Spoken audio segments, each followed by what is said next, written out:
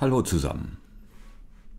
In diesem Video möchte ich Ihnen zeigen, wie ähm, verschiedene Fonte-Varianten in einer sequenziellen Fortschreitung zu einer Einheit integriert werden können, wie wir also zwischen verschiedenen Fonte-Varianten wechseln können und wie man diese Fonte-Varianten ähm, in einer Liedzeile, in einem Skalenausschnitt, in einem fallenden Skalenausschnitt segmentiert.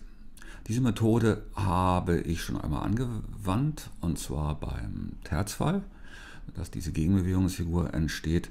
Den Link zu dem Video äh, seht ihr am Ende dieses Videos. Und dasselbe möchte ich eben jetzt bei einer fallenden Stufensequenz, äh, in diesem speziellen Fall äh, bei einer Fonte-Sequenz anwenden. Schauen wir einmal hinein. Die Frage ist, was ist ähm, überhaupt eine Fonte-Sequenz? Das kann man nun äh, sehr streng historisch definieren, ähm, und zwar mit Blick auf die äh, Sichtweise äh, Riepels, der ja die Fonte-Sequenz in einen Minuett-Kontext einordnet ab Doppelstrich. Das tue ich nicht, sondern ich erweitere diesen äh, Begriff grundsätzlich ähm, zu einer fallenden Stufensequenz, deren Gerüstsatz ein Terz-Sekund-Zickzack ist. Und zwar Sekunde rauf, Terz runter. Die Frage ist nun, wie, äh, welche Möglichkeiten es gibt, äh, eine solche Oberstimme, Sekunde rauf, Terz runter, zu äh, mit, mit einer Bassstimme zu versehen, zweistimmig zunächst mal, und zwar nur mit unvollkommenen Konsonanzen. Das heißt mit Terz und Sechste. Schauen wir mal äh, Beispiel 1. Ähm, dort äh, habe ich Ihnen die Möglichkeit der Terzparallelen aufgezeichnet. Und zwar ähm, hier, äh, ähm, nehmen wir mal schickes Grün. Hier sehen Sie die zweistimmige Variante. Dort. Die unterschiedliche Halsung deutet schon an, dass wir jetzt die Oberstimme gleich in zwei Satzstimmen auf spalten und zwar durch ähm, Fingerpedal. Das deuten diese Überbindungsbögen an. Das ist eine Technik, wie wir sie aus, der, äh, aus dem französischen Stil Brisé kennen, bei Daunebert und so weiter, also bei äh, Louis Couperin. Ähm, das heißt, es wird eine einstimmige Linie, äh, eine einstimmige Linie notiert und durch äh, Überbindung eine Mehrstimmigkeit erzeugt. Diese Mehrstimmigkeit erzeugt hier in Beispiel 2 ähm, also eine Vorhalskette. Wie Sie sehen, das bleibt in all den drei Möglichkeiten, die ich Ihnen gleich vorstelle, gleich. Diese Vorhalskette hier ähm, ist sozusagen ein verbindendes Element. Und der Bass bleibt hier natürlich auch erhalten in den Terzparallelen und wir bekommen dadurch einen Nonenvorhalt. Was Sie ganz rechts sehen, ist nun eine äh, vierstimmige Darstellung dieses äh, Nonenvorhaltes. Und dort geschieht etwas sehr Interessantes. Das ist diese, ich zoome das mal ein wenig rein. So, jetzt sehen Sie hier, das ist die hinzugefügte Stimme. Und Sie sehen hier zwischen Tenor und Alt Quintenparallelen. Diese Quintenparallelen sind sehr, sehr interessant ähm, und absolut lizenziert. Sie stammen aus der Generalbasspraxis und ähm, tauchen in dieser Form auch bei Bach auf, etwa im musikalischen Opfer, im zweiten Satz der C-Moll-Trio-Sonate und substanziell auch äh, in Chorälen, etwa in dem äh, Choral ähm, Ich will dich mit Fleiß bewahren aus dem Weihnachtsoratorium.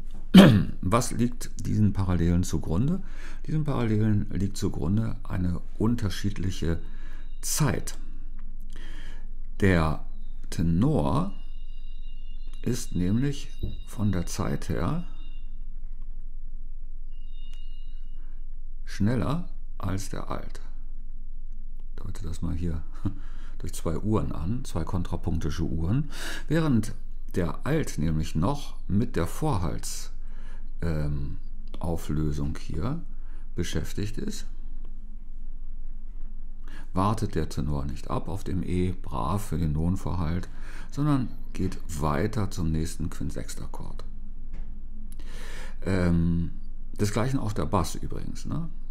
Der Bass bettet diesen Vorhalston in einen neuen Kontext ein. Das heißt, Bass und ähm, Alt sind also nun schneller als äh, Entschuldigung, sind schneller als der, die vorhalsauflösende Stimme im Bass, Entschuldigung, Bass und Tenor sind schneller als die vorhalsauflösende Stimme im Alt. Wenn ich gleich zum Klavikord rübergehe, werden Sie sehen, dass man diese Parallelen überhaupt nicht hört ähm, und dass das sehr, sehr schön klingt. Beispiel 2, dort haben wir Terz und Sext in Gegenbewegung. Ähm, hier die Terz, dort die Sext, auch hier zunächst mal im zweistimmigen Satz, daneben dann im dreistimmigen Satz. Durch Fingerpedalisierung der rechten Hand entsteht eine Vorhalskette und ähm, der Bass erzeugt hier Quintsextakkorde, Quintsextakkorde, die sich nach all den Regeln der Kunst als Cantizans Penultima nach oben auflösen. Und was wir hier sehen im äh, letzten Beispiel in dieser Zeile ist auch die hinzugefügte vierte Stimme. Hier im Alt, im Tenor, Entschuldigung, ich wechsle heute dauernd Alt und Tenor, ich weiß auch nicht, woran das liegt. Und wir erhalten dann die Bezifferung 5, 6, 3, 5 oder 5, 6, nichts, wie ich zu sagen, Pflege. In der letzten Zeile haben wir nun die letzte Möglichkeit, nämlich sechs Parallelen. Fassen wir das also nochmal zusammen.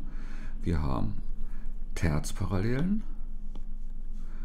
Sechstparallelen und Terz-Sext in Gegenbewegung. Das sind die drei Möglichkeiten, eine Fonte-Sequenz zweistimmig zu fassen. Und hier genau der gleiche Weg, nämlich äh, durch Fingerpedal erzeugen wir hier die Bezifferung 656. Und 656 kommt uns bekannt vor, denn 656 ähm, ist ähm, eine Bezifferungschiffre, die kadenziell definiert ist, nämlich im Sinne der von mir sogenannten Ruggiero-Klausel. Das heißt, der Bass steigt von der Terz einer Skala über die Quarte zur Quinte.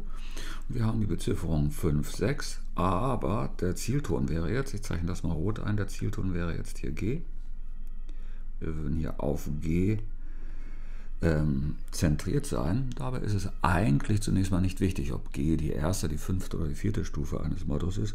In der Regel ist es aber die fünfte, sodass wir dann hier also eine Kadenz tom, tom haben, diese typische Kadenzformel.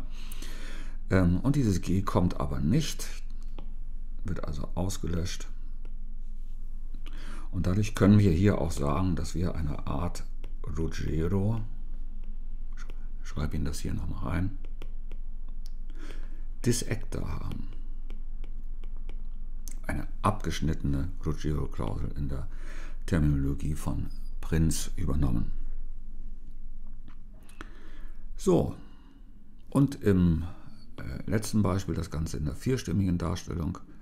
Da sehen Sie hier, dass dieser eingefügte Tenor äh, sich hier in Terzparallelen zum Bass bewegt, dass wir hier eigentlich zwei Parallelbewegungen äh, in einer integrierten, integrierenden Fortschreitung vorfinden, nämlich Terzparallelen und Sechstparallelen.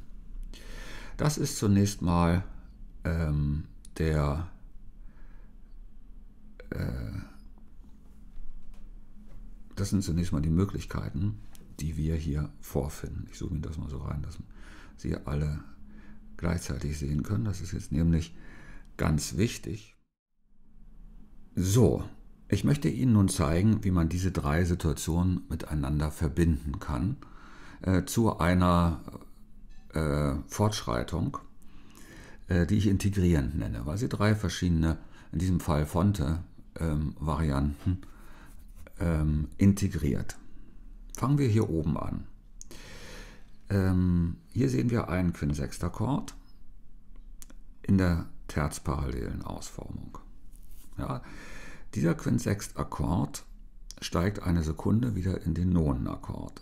Wenn ich jetzt noch eine Terz fallen würde, statt einer Sekunde zu steigen, würde ich jetzt hier landen. Sehen Sie? Ich hätte also zwei, ich skizziere das mal hier in der Mitte, ich hätte also zwei fallende Terzen, die mit 9, 5, 6, 5, 6 beziffert sind. Das ist doch interessant. So, und jetzt könnte ich hier eine Sekunde aufwärts steigen, nach F, wie es hier steht, aber wenn ich noch eine Terz falle von diesem E abwärts, dann lande ich hier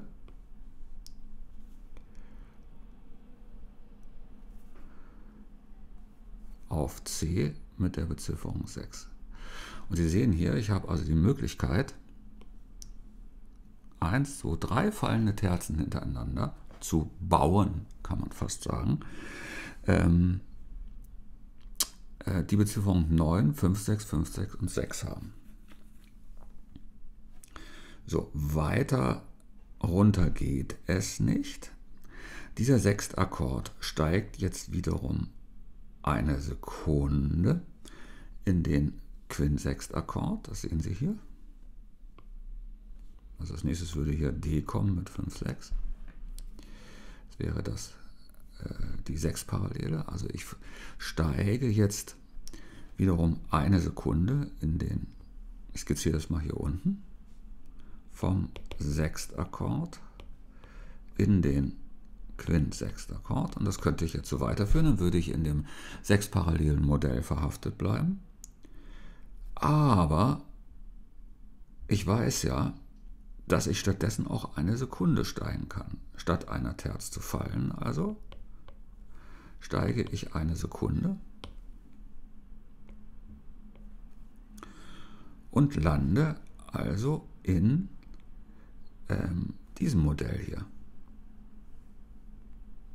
In dem Terz-Sext antagonisierenden Modell. So, jetzt könnte ich hier weitermachen. 5, 6 nicht, dann würde ich dort drin bleiben.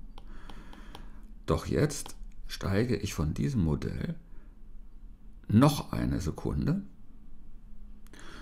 und lande dann in dem terzparallelen Modell, nämlich hier. EF habe ich jetzt als Transposition gerade nicht drin, aber ich lande dann hier. Dann bin ich also bei 9 und habe hier 5, 6, 5, 6, 9 tatsächlich Ruggiero. Hier oben vielleicht nochmal die äh, Vorhalskette. Hier haben wir also 5, 6, 6. Das ist der sechste Akkord. Dann hier 5, 6, 5, 6. und dann hier 9.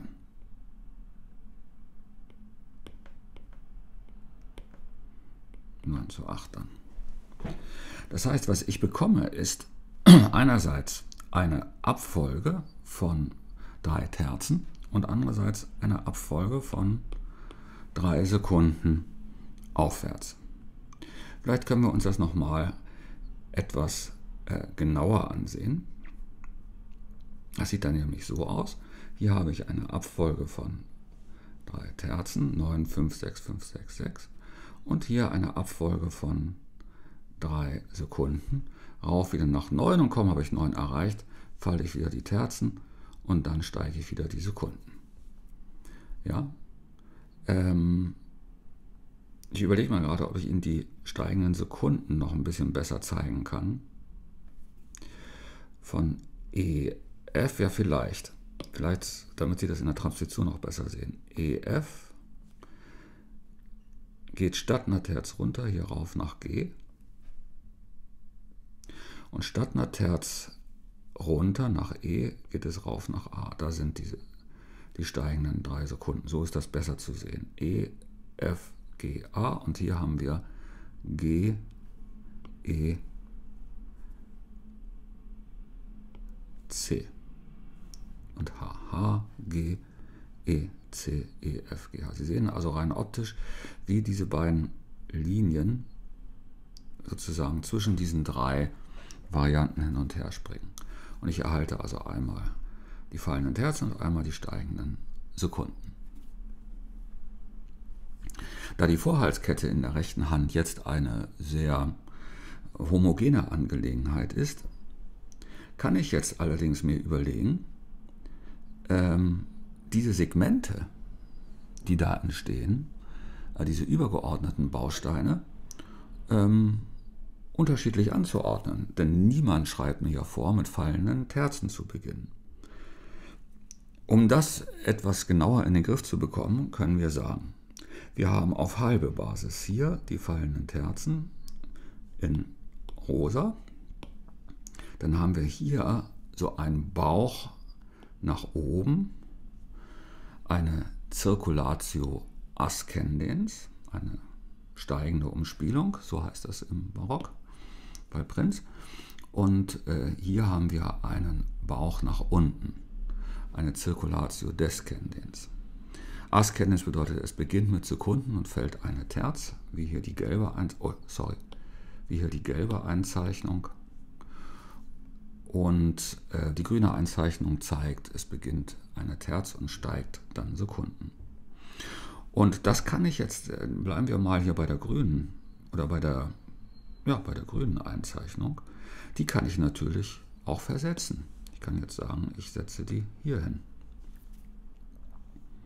Oder ich setze die hier hin. Dann sehen Sie, dass die Halben wandern. Interessant ist übrigens, dass das Ganze hemiolisch ist. Es sind drei halbe gegen ein äh, zwei halbe Takt, gegen einen Viervierteltakt. Oder ich kann es auch so hören. Yom pom pom pom pom pom pom pom pom pom pom pom als äh, drei Viertel gegen vier Viertel. Aber hier ist die drei halbe Sichtweise besser, weil ich bekomme einen besseren Überblick über das Wandern ähm, dieses Segmentes. Schauen wir an, was mit dem gelben Segment passiert. Es wandert hier nach vorne und hier ganz nach hinten. Und die fallenden Terzen sehr prägnant. Welche Farbe haben wir noch? Rosa. Die wandern hier nach hinten und sind hier in der Mitte. Sodass wir insgesamt drei unterschiedliche Möglichkeiten haben, diese Fonteverschränkung unter die Vorhalskette im Bass zu legen. Und die Hemiole macht das Ganze sehr, sehr reizvoll. Jetzt habe ich Ihnen hier unten ähm, noch die Parallelbeschränkung ähm, des Videos, das ich Ihnen verlinke, ähm, hin äh. Ähm, vielleicht noch einmal, doch noch einmal zur Wiederholung. So funktioniert das Ganze. Sie sehen hier in der ersten Zeile den Ansatz aus der Terz, Pachelbel aus der Terz, in der zweiten Zeile Pachelbel aus der Unteroktave und dann die Verschränkung von beiden. Ne? Wir haben hier also, ähm, Entschuldigung, äh, es beginnt mit G, das äh, entspricht Fassung 2, dann H entspricht Fassung 1, C 9,8 entspricht Fassung 1, D im Bass 7,6 entspricht Fassung 2, wenn wir H-Moll annehmen und das C-Dur mit dem Quint-Sechstakkord entspricht auch Fassung 2, sodass wir also eine Verschränkung dieser beiden haben. Und was Sie jetzt hier sehen, um mal wieder zurückzukommen, was Sie jetzt hier sehen, ist, wir haben hier Scharniere, die es uns erlauben, zu den jeweiligen Fonteverschränkungen ähm, überzuwechseln. Hier haben wir zum Beispiel, ich glaube, ich brauche eine andere Farbe hier. Nehmen wir mal so eine Art Türkis. Ähm, wir haben hier die Bezifferung 9 zu 8. Und diese Bezifferung 9 zu 8 erscheint auch hier. Wir könnten jetzt von dort rüber wechseln. Oder wir haben die Bezifferung 6 und die Bezifferung 6 erscheint auch hier. Und wir könnten jetzt von dort rüber wechseln und das sehen wir auch, das tut ja dieses Modell. Das werde ich Ihnen gleich am Klavichord noch genauer zeigen bis hierhin erstmal sozusagen die Arbeit am, im Geiste, in der Konstruktion. ein, wie ich finde, faszinierendes äh, Perpetuum, ähm, das einlöst jene Worte von Peter Handke, der einmal gesagt hat, in der Kunst wird Wissenschaft zum Spiel. Das Ganze ist tatsächlich ein kontrapunktisches Spiel. Bis gleich. Vielen Dank.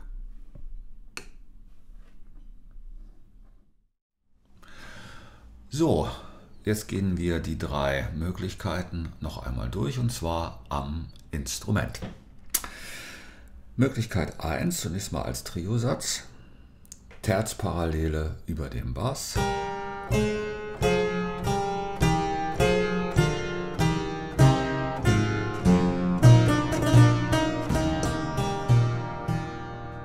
Finger pedalisiert in der rechten Hand und dadurch entsteht eine Vorhalskette.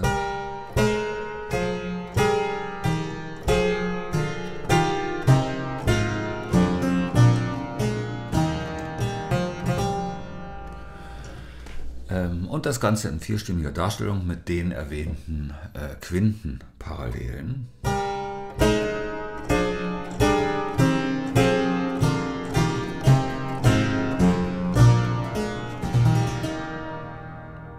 Ich habe in den jeweiligen, wo ist denn mein Stift überhaupt? Ah, ich muss mal kurz meinen Stift holen, entschuldigen Sie.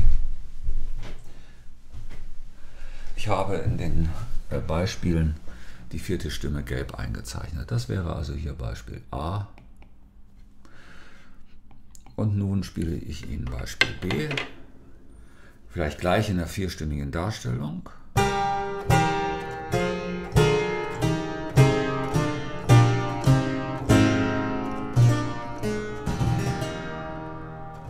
Und Beispiel C Beispiel B war also Terz Sext abwechselnd. Terz und Sext. Und Beispiel C wäre dann nur Sextparallele.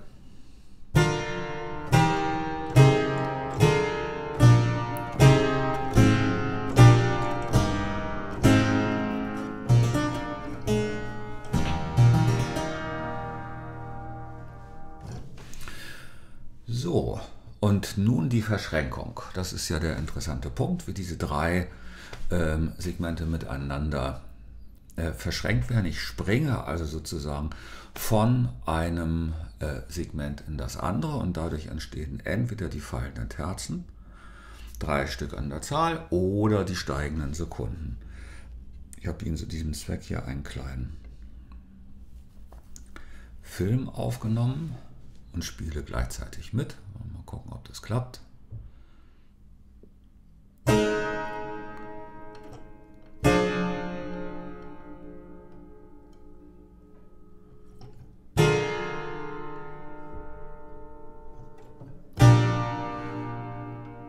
Terzen abwärts, Sekunde aufwärts im Modell, jetzt Wechsel, noch eine Sekunde aufwärts, statt Terz abwärts. Und noch eine Sekunde aufwärts. Alle drei Modelle miteinander verknüpft. Ähm, das bedeutet, das, was wir hier vorfinden, ist immer ähm, eine, entweder abwärts, eine, ein Terzfall statt ein Sekundenstieg, also hier statt Statt der Bass nach A geht, fällt er nach E. Statt der Bass nach F steigt, fällt er nach C. Es sind also die fallenden Terzen. Insgesamt also drei Stück. Und jetzt steigt er eine Sekunde, das ist normal. Und jetzt statt einer Terz zu fallen, steigt er noch eine Sekunde. Und statt einer Terz zu fallen, steigt er noch eine Sekunde. Und auf die Weise erhalten wir also dieses Bild.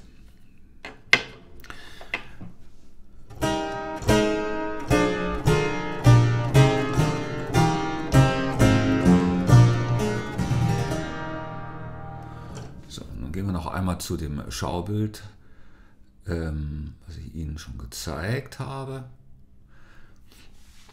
Es ist jetzt nämlich nicht gesagt, dass wir mit dem Nonenverhalt beginnen, sondern wir können auch woanders beginnen.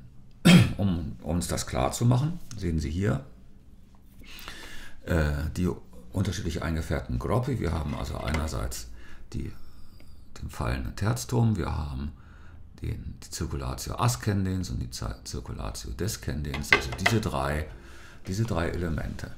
Ich spiele Ihnen jetzt diese drei Beispiele hintereinander weg. Und äh, einmal beginne ich mit dem Terzturm hier. Dann beginne ich hier mit dem äh, mit der Graduatio, äh, mit der Zirkulatio. Zirkulatio, habe ich Graduatio gesagt? Zirkulatio. Ascendens und hier mit der Zirkulatio. Descendens. Wollen wir mal gucken, wie das klingt.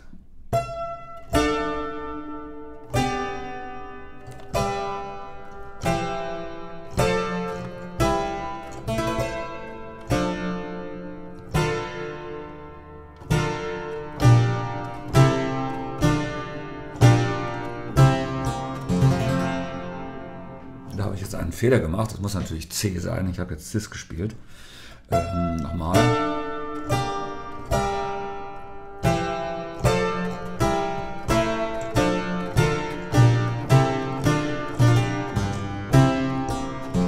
Und man hört deutlich die Hemiolenbildung, die linke Hand in diesem Dreiermaß, entweder ähm, drei halbe statt ähm, vier halbe, also, oder ähm, wir haben drei Viertel über vier Viertel. Das ist also die eine 3 gegen 4 Hemiole. Ähm, hier das gerade Taktmaß und hier 3, 1, 2, 3 und das übereinander.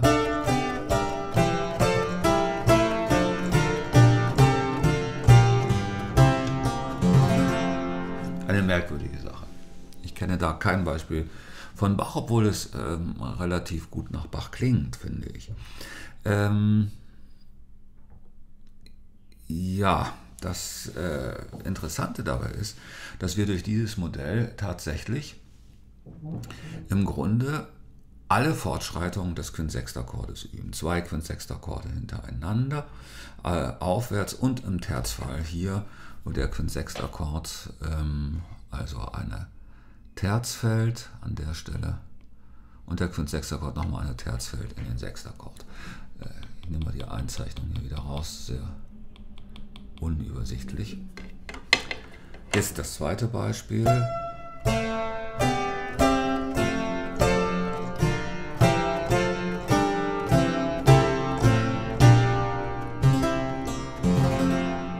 Kommt also auch hin, ist also keine Frage. Das dritte Beispiel.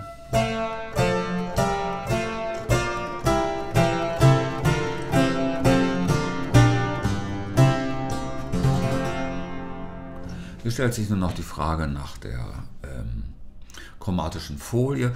Sie sehen hier im ersten, in der ersten Zeile ein Cis und ein A. Es wäre möglich durch den Sog nach H-Moll im ersten Takt. Das würde dann so klingen.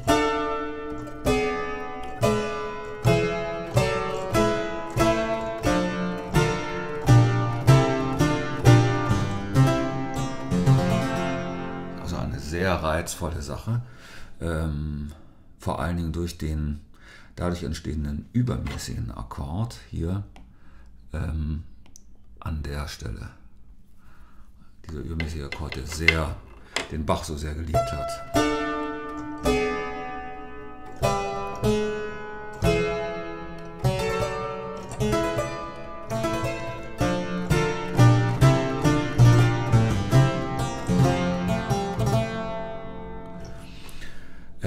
Zweiten Zeile habe ich einen Dis probiert. Mal schauen.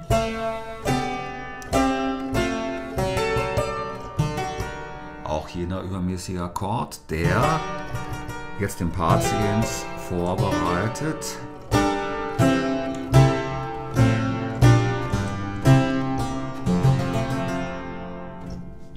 Und in der dritten Zeile ja, habe ich jetzt keine ähm, Vorzeichen drin. Ich weiß ehrlich gesagt jetzt gar nicht warum. Wahrscheinlich würde das eventuell auch gehen. Wir probieren mal.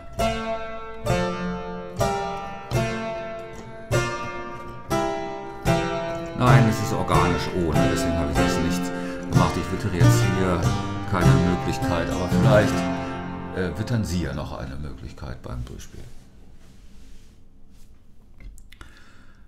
So, ähm, dieses Modell hat äh, eine übergeordnete äh, Fortschreitung, eine integrierende Fortschreitung, wenn wir das sozusagen ein wenig vom Hochsitz aus betrachten. Und zwar sehen wir das hier etwa an den fallenden Terzen. Ähm, es fällt eine Quarte. Nun können wir es allerdings so machen, dass wir das in einen Terzfall hineinnehmen, der entscheidende Punkt oder in einen Terzfall verwandeln. Der entscheidende Punkt ist dieser Quintsextakkord hier. Wenn wir von diesem Quintsextakkord nicht eine Terz fallen, ähm, wie hier, sondern eine Sekunde steigen, wie hier, wechseln wir den Kontext und wir erzeugen Ruggiero schon an dieser Stelle, also die zwei steigenden, drei steigenden Sekunden beziffert mit 5, 6, 5, 6, 9. Ähm, also wir haben eigentlich dann hier, hier noch 5, 6 einfüge, verschieben wir im Grunde, und das ist der entscheidende Punkt, wir verschieben dieses Segment 5, 6, 5, 6, 9 nach F eine Sekunde tiefer 5, 6, 5, 6, 9 nach G. Und dadurch wird aus dem Quartfall ein Terzfall. Ich kann das sogar noch unterstützen, indem ich dieses Modell, diesen Modell immanenten Ton hier runterziehe zur Bezifferung 6, dann habe ich das gesamte Segment eine Sekunde nach oben gesetzt und dadurch aus dem Quartfall einen Terzfall gemacht. So entsteht hier also der Ruggiero Terzfall nicht als ähm, Ornamentation äh, des Pachelbel-Basses, sondern er entsteht auf der Grundlage einer Verschränkung verschiedener Fonte-Sequenzen. Das ist das äh, Interessante hier. Ich spiele Ihnen das mal.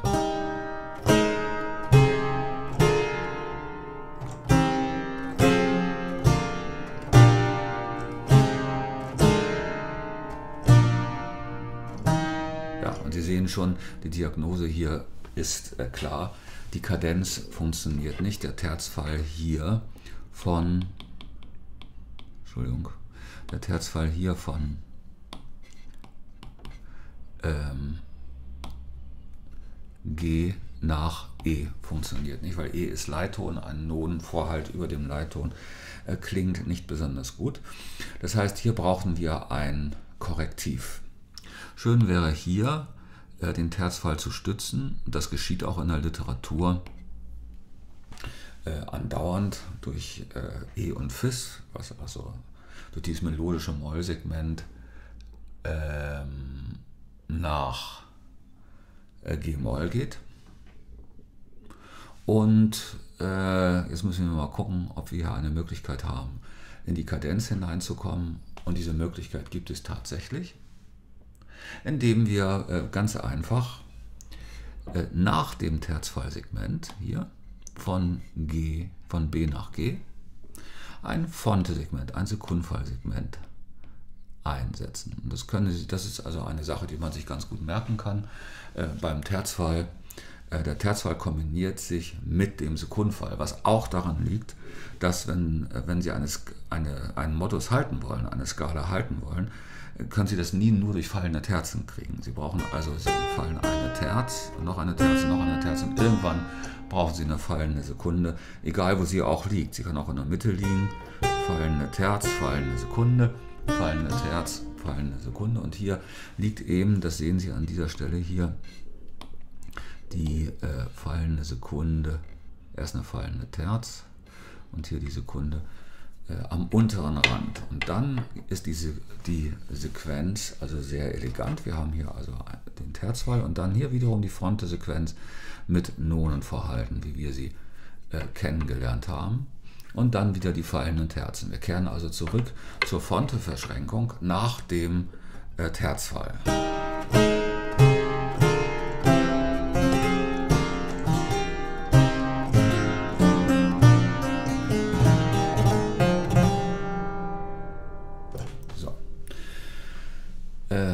Wiederum eine weitere Möglichkeit der Skalenharmonisation im Choral. Eine sehr interessante Sache.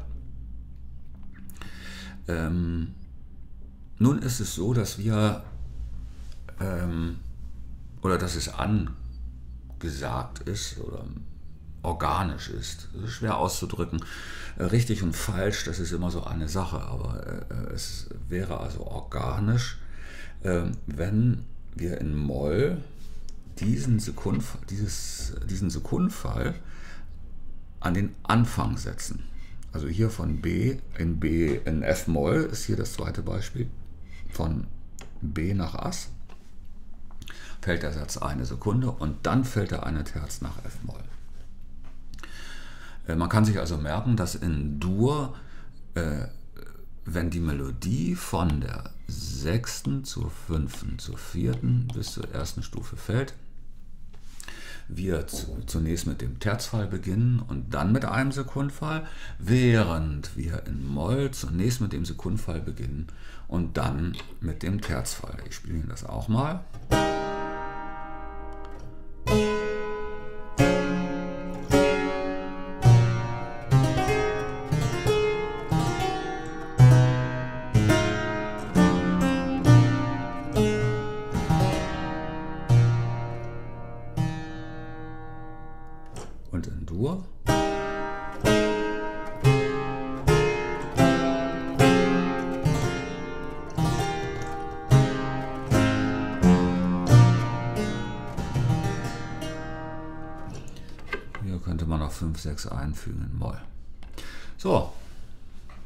Frage ist, warum das so ist und ob das sozusagen eine Regel äh, ist, die begründbar ist oder einfach sozusagen nur eine historisch konditionierte Regel. Ja, das ist eine, eine interessante Frage. Und dieser Frage können wir auf den Grund gehen, indem wir das Ganze tauschen. Also, ich spiele jetzt das obere Beispiel, also dieses hier, in Moll, in F-Moll.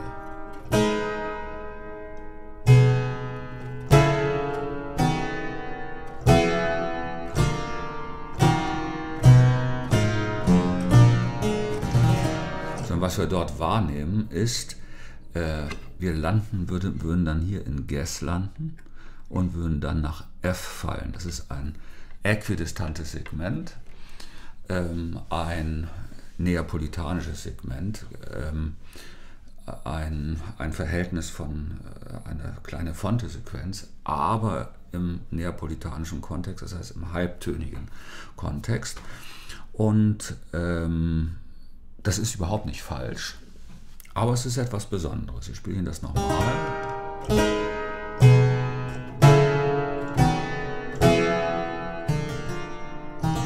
Diese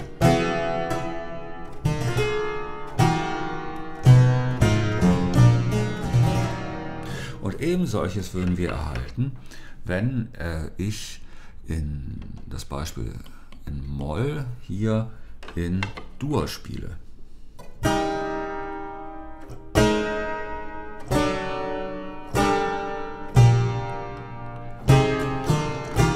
Und dann funktioniert es. Das heißt, wir würden hier also von B-Dur, wahrscheinlich über Gis und H, nach A-Moll landen. Auch dort haben wir ein neapolitanisches Verhältnis. Es ist also im Grunde keine äh, Sache von richtig oder falsch, sondern auch hier, wie häufig in der Musik, eine Angelegenheit von ähm, naheliegend und nicht naheliegend. Ähm, in Dur mit dem Terzfall zu beginnen und in Moll mit der Fonte-Sequenz, äh, mit dem Fonte-Sequenz-Ausschnitt ist das naheliegende.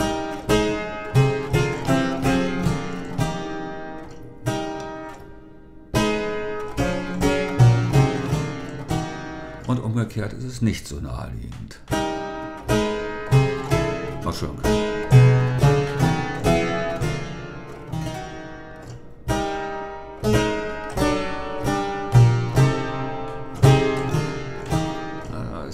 Chromatik sozusagen, bringt das Schiff ein wenig in Schlagseite.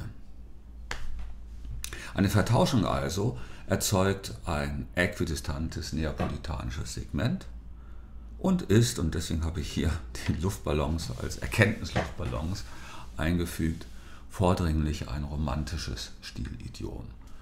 Es ist also auch interessant zu sehen, in welcher Zeit wir uns dann bewegen.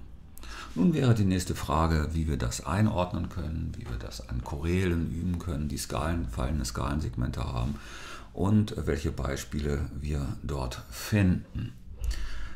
Das machen wir jetzt aber nicht. Ich möchte Ihnen erstmal nur dieses, äh, diese Anregung mit auf den Weg geben, mit einem kleinen Hinweis noch, nämlich wir haben hier zwei Eigenschaften, die wir in der Kunst sehr, sehr häufig vorfinden. Die eine Eigenschaft ist die äh, der äh, Leichtigkeit, der Facilita, wie es äh, der Renaissance-Theoretiker Landino beschreibt. Eine Sequenz ist nämlich an sich ein leichtes Phänomen, ein klares Phänomen. Und die äh, Eigenschaft der Difficulta, das heißt, ähm, wir nehmen dieses leichte Phänomen und spielen damit und durch dieses Spiel wird es komplex. Wir erkunden komplexe Möglichkeiten. Ähm, es setzt sozusagen Kristalle an und der Kristall wächst und wir haben dann eine Vielzahl von Möglichkeiten, äh, fallende Sekunden in unterschiedlichen stilistischen äh, Hemisphären gewissermaßen, also im Choral, in der Fuge und in anderen Kontexten ähm, aus auszuprobieren und äh, einzusetzen gewissermaßen.